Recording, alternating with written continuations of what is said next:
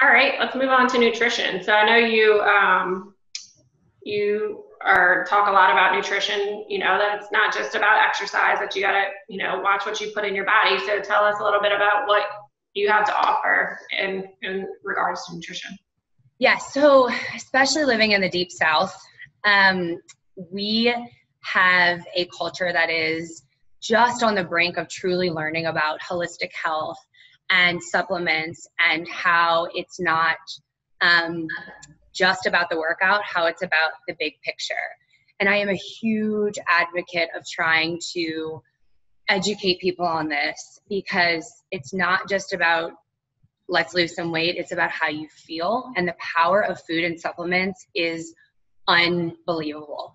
I went through a personal journey myself as I was educating myself to work um, with clients. And I'm just floored at the difference in how me and my family feel. And I kind of want to just share that with anyone and everyone who will listen.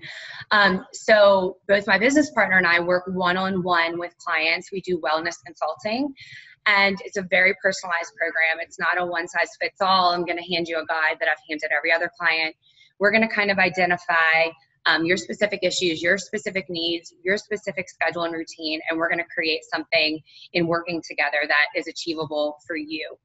Um, we've also tried to incorporate our love of wellness into the studio a little. So, in our superfood smoothie bar, we realized that there was a lack of places to actually go get a nutritious, healthy smoothie.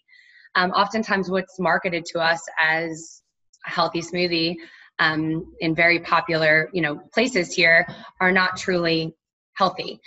So we started our smoothie bar in both locations, which I think has been um, amazing for us to watch people acquire a taste for these things they never, you know, thought they'd be drinking a green drink.